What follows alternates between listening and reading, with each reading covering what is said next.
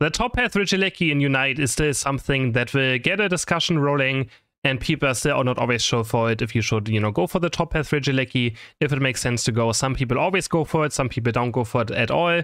And I think on this game I will showcase a scenario where it's actually quite fine to stay top path for the Regieleki, um, just because of how the game went. Usually going for bot path is always correct, right? The bot Regi is very, very strong, and those uh, that AoE experience it gives, or the global experience it gives, is very important, and it's usually the first team fight of the game as well. But the top path Regieleki can also be quite, quite good, and it can help you get a point lead, it can help you get your tech weight stacks done in case you run a tech weight. This game I'm playing Dragonite with Outrage on sadly on top path. I wanted to go for central area. We ran out of time. The Mewtwo also wanted central area, so I just gave up and went for top path. Nothing I would recommend, of course. It's nothing you really want to do. We also got actually quite unlucky. The enemies have like a Buzzwole, they have Imprison, they have Ninetales, they have Slowbros. An absolute nightmare for any melee auto tech Pokemon. They also have Geese, one of the World Championship players from Nouns Esports, playing the Buzzwole right here. And I just want to showcase how the game evolves. So usually we do have a Hoopa as well with Hyperspace Portal, but if your central area Pokemon plays around top path, which our Mewtwo is doing in this game, and decides not to go for you know the bot objective, often it's just correct to just do top, break the goal, and push the Regieleki into the second goal. Yes, breaking a goal I'm not a big fan of. Um, it's usually fine to break one goal. I just really don't like it when, you know, one team breaks two goals too early on. But if you can push the Regieleki into the second base pretty early on, doesn't just give you a lot of points, it also gives a huge mental disadvantage on the enemy team. Right? They're going to be like, oh my god, how did Regieleki already walk in? They got so many points. Oh, this is so annoying to play against, right? That's just some like a bit of a mental advantage. MOBAs are always mental games. Um, you have to be always completely focused and not, you know, have any like um feelings or something make you play worse. And people will get tilted when they see Regieleki walk in. They're like, wow, why did I want to defend this? They don't want to defend this. They just got so many points. So also, Another thing I want to talk about just very second, it's never great to go 5 bot lane for the first objective either. So in this game, my Clefable at 720 probably should go towards bot path and be ready there, and then you have always one player top lane still. Usually sending 5 towards bot is not right because you're going to lose a lot of top experience that in case you also lose the bot Regi, the other, you know, top path player will most likely get. Of course, if you see the enemies rotated 5 towards bot path, you can decide to maybe go there, but you can also just farm top pretty much for free.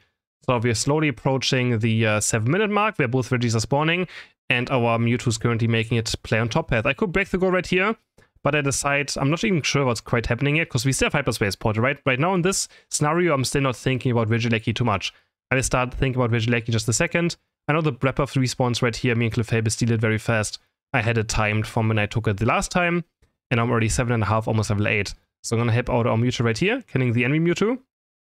And then we dive towards this goal and now it's 710 already. And this point, I'm like, okay, I'm going to level 8 right here. We can maybe look for a goal, a break on the goal, and then look for a Regieleki push. Um, our Mewtwo is the top. And we do have Hyperspace Portal, so we could rotate towards bot path right here, but by you see my Mewtwo decides to just go for the Regieleki. I'm like, okay, I could go bot path here, but without our central area Pokemon, I don't want to take a bot fight. Like, in general, fighting without your highest level Pokemon is just not a good idea, right? So I break the goal right here.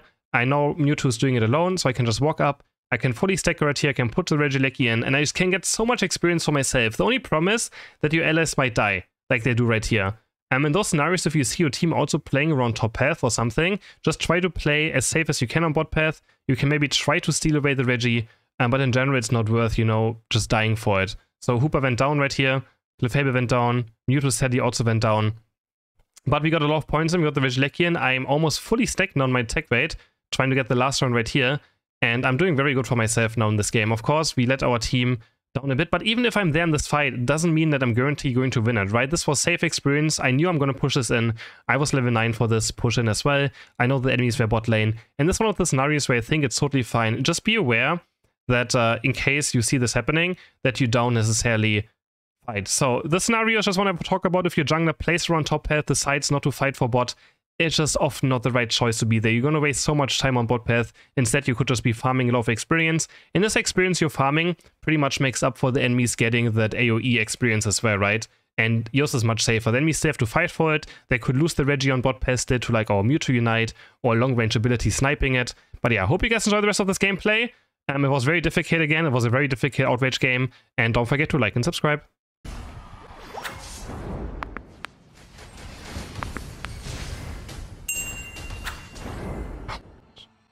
At least he doesn't have in prison. Okay.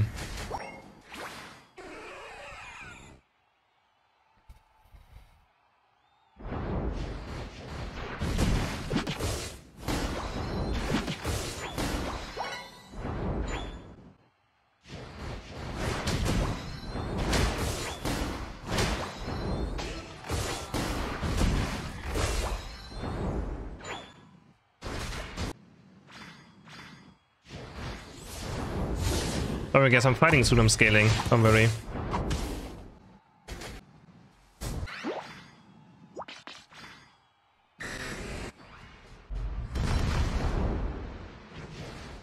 Yes.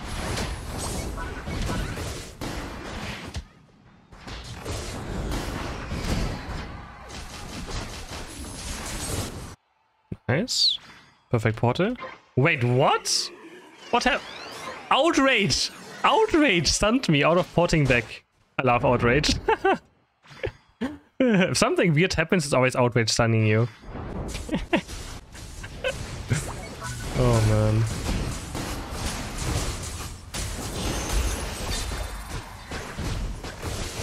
Classic Outrage.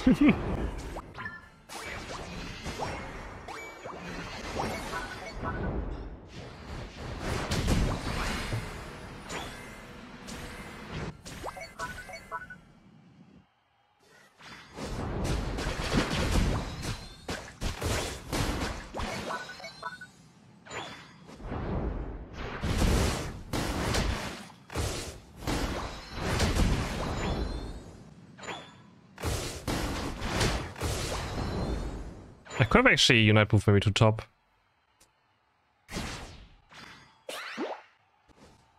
I want to fight. Oh, I want to fight. Let's go.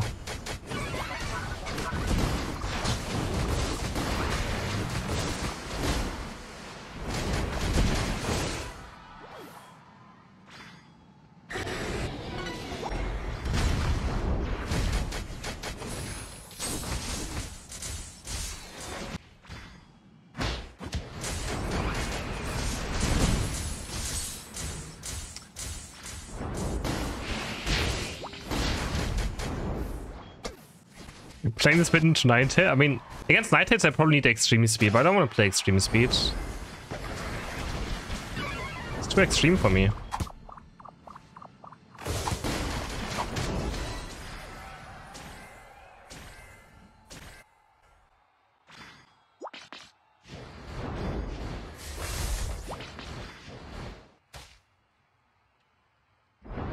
Search. Can team get it? Yeah, team can get it.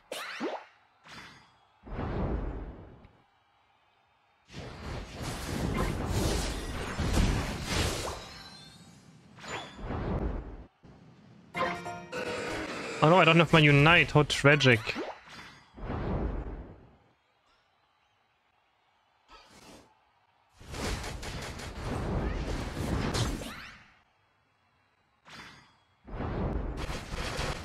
Mm, I don't want to fight in this ah, spot. It's like I can't avoid Ninetales there whatsoever. And we don't have to fight. We can share. We have a huge lead, right? We don't have to be aggressive. Okay, but this guy goes into... Okay. Take him down. Smack, smack, smack. Smack, smack, smack, smack. There we go. Yeah, I better surrender. I mean, I, I was AFK half the game, but you know, that's just how it is sometimes.